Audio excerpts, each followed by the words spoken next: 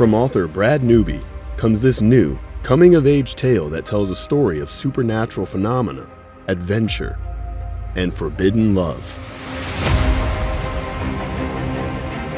First cousins Mark and Sandy have been in love for as long as they can remember and has been holding on to a hope that someday they can really be together. And if that wasn't enough, Sandy discovers something about herself that would ultimately change their destinies forever. As they walk a new path in a world full of mystery and intrigue, they will have to choose how to make use of their newfound abilities.